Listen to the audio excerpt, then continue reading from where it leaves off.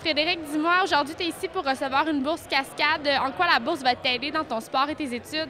Euh, je pense, dans le fond, que la bourse cascade, tout ce que ça nous fait, c'est vraiment un support que d'autres ne pourraient pas nous donner, donc un support soit financier ou soit encore scolaire.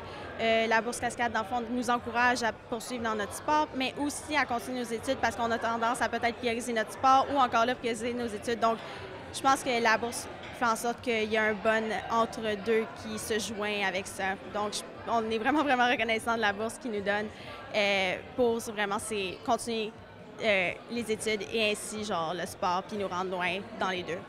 C'est quoi tes objectifs pour la prochaine saison? Euh, vraiment me rendre sur le circuit de la Coupe du Monde. J'ai réussi à battre des filles, dans le fond, qui faisaient déjà la Coupe du Monde cette année, ce qui fait en sorte que je peux quand même me faire une place parmi les les compétitions dans, dans la ben, Coupe du Monde. Donc, je, crois, je crois fortement que si dans je me, je me prépare assez bien pour la prochaine saison, je vais être capable d'atteindre mes objectifs assez facilement. Merci beaucoup, Frédéric. Merci à vous.